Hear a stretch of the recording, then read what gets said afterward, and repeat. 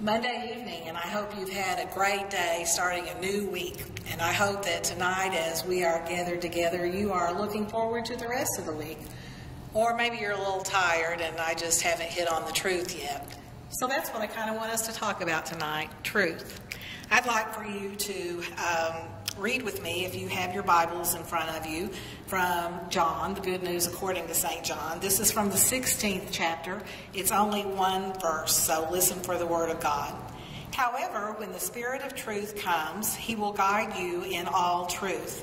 He won't speak on his own, but will say whatever he hears and will proclaim to you what is to come. I want to read that one more time. However, when the Spirit of truth comes, he will guide you in all truth. He won't speak on his own, but will say whatever he hears and will proclaim to you what is to come. This is a good word for us. It is the word according to um, the Christ who has given uh, the disciples their spirit, the Spirit, the Holy Spirit, and which we've talked about before, which is the Spirit of truth, which in fact is Himself. So he has given them Jesus now, and this is continuing on from John that we've talked about before. Um, this is a great passage. This is a passage that is difficult for a lot of us, and I will just share with you that it's difficult for me. Truth is very important to me. Um, I grew up in a family. Uh, my both of my parents were um, of the lineage that uh, if you told a lie, basically you were alienated, you were out. There wasn't anything that would get you, it's not just in trouble, uh, it's far more than that, it's far deeper. You would lose their trust, and once you lost their trust, that would not be good. Um, neither one of them, and I've heard them both say, my parents, I've heard them both say over and over again, I can't stand a liar. Um, and we do know that in this world in which we live, there are many people who do lie, who can't seem to tell the truth. It, you know, you say, what, what is the deal here? I mean, why does it cost you less to tell the truth than it does to tell a lie? I mean, what is the situation here? I, I don't really understand. Why would you stand there and lie to me? And yet we know that many people lie. Now, for what reason is convoluted.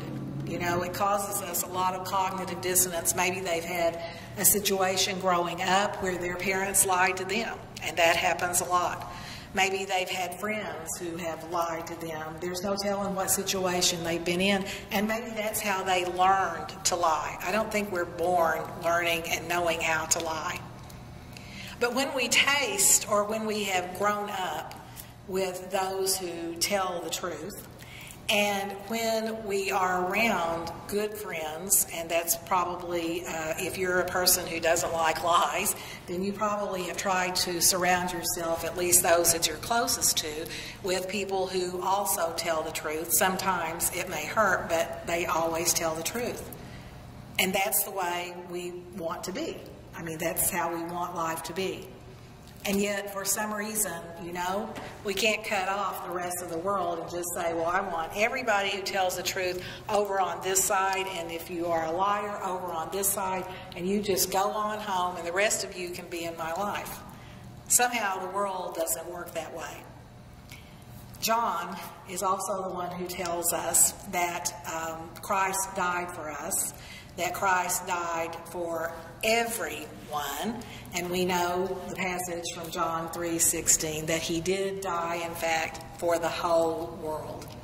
Um, not one more than another. We are all equal in the fact that God, Christ, died for us. So I want you to think about this particular situation then when he when John tells us about Jesus and about being the spirit of truth. As I said, back in John 14, we talked about that one night in a devotional about coming to them, and He is the way and the truth and the life. But what He gives them on the day, what He tells those disciples before He leaves, is that I am the Spirit of truth. As I've gotten older, I have uh, learned, and I know many of you have also, that uh, I've learned better how to listen to people with a fairly straight face that I know are lying to me. Um, I didn't used to be very good at that at all, and I'm not saying that that's a good thing to learn. I'm just saying sometimes you need to hear people out, and you need to hear what direction they're going, even though you know that it's a lie. But we yearn for the truth. And when we have made mistakes, there's just something about us because that's who God is, the truth. We yearn for that. And so when we have opportunities, maybe we've made mistakes in trusting people who don't tell the truth. And now we are at a certain point in our own lives where we think, I can't really trust anybody, and I don't really know that anyone will ever, I'll be able to trust anyone ever again. So I'll just go on with my life. That's a very difficult place to be. I've been in that place before. I've been in that place recently where I think, who is really trustworthy? And if I make decisions, they're going to be big decisions right now, and I'm by myself, except with God, making those kinds of decisions. So I want someone who can help me to know what is the truth, to be able to discern when people are telling me the truth. And so I need that spirit of truth, right? And you need that spirit of truth. That has troubled me a great deal.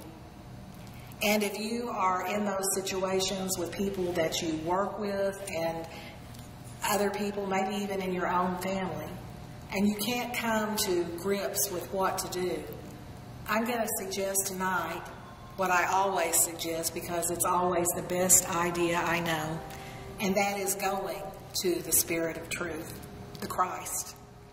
And Christ is the one who will help you, who will guide you. That Spirit of truth will guide you through to the truth. There'll never be anyone like Christ. You're not going to find somebody else like Christ on the earth, but you can rest in the knowledge that if you let God guide you, that if you let the Spirit of truth guide you in your life, that you will find yourself in the place that you are supposed to be, that you will be able to make decisions somehow, I don't know how God works this, but I've had it happen over and over so I can bear witness to it, where the right thing happens. The truth comes out. And there is God in that truth. And there you are, safe. Safe. It's an amazing process. We have been in this virus so long, and there have been so many promises made and so many promises taken away so many things that were supposed to be one way and yet they've turned out another way. And that's been one more thing to add to our list of not trusting people and of being afraid and of who the liars are and what's going to happen to us in the end. My answer for you tonight is, again, as I always tell you, my answer is God. The Holy Spirit, the Spirit of truth, will get you through this will lead you as you continue to walk in the light, will continue to lead you forward, and will continue to watch your steps and watch your decisions as you stay in communication that we call prayer. As you stay in the scripture, the scripture is so important. If you are concerned about the truth, read the scripture, worship, talk about God with other people. But you will find the truth. God is not hiding it. God's not hiding, and God is not hiding the truth. It's right there for you. I want to encourage you to remember that tonight. Maybe that's something you're going to need through this week. I don't know. I feel like somebody is going to need this, and I hope that it's helpful. This passage helps me so much, this passage in John because truly God will help me make these right decisions in these difficult times. And they will be decisions made into truth, made truthful, by the Spirit of truth, who lives in us as we help other people. In the name of the Father, and of the Son, and of the Holy Spirit. Amen.